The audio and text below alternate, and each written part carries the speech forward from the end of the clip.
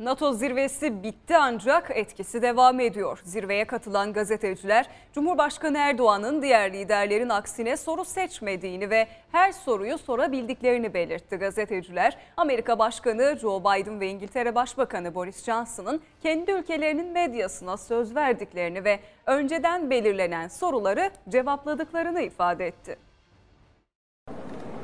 Selamun Aleyküm Cumhuriyet Başkanı. Aleykümselam. Ee, Cumhuriyet Başkanı. NATO zirvesine katılan liderler seçilmiş soruları cevapladı. Cumhurbaşkanı Erdoğan ise bunun aksine rastgele soru aldı. Bu durum zirveye katılan gazetecilerin de dikkatinden kaçmadı.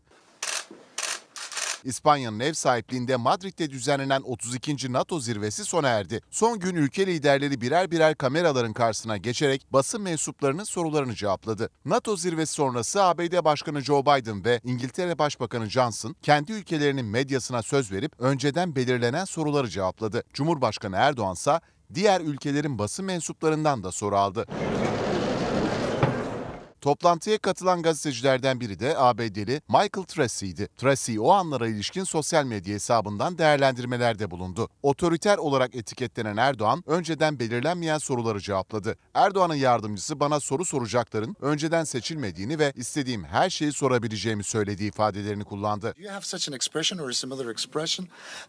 Tracy yaşadığı şaşkınlık sonrası Cumhurbaşkanı Erdoğan'ın Biden ve Johnson'dan çok daha fazla soru aldığını kaydetti. ABD'li gazeteci Biden'a sorulan soruların da seçildiğini belirtti. Cumhurbaşkanı Erdoğan'ın basın toplantısında renkli anlar da yaşandı. Japon gazeteci Cumhurbaşkanı Erdoğan'a soracağı sorusuna selamun aleyküm diyerek başladı. Gazetecinin Erdoğan'a soru öncesi verdiği selamlama şekli salondakilerin yüzlerini güldürdü. Cumhurbaşkanı Erdoğan da Japon gazeteciye aleyküm selam yanıtını verdi.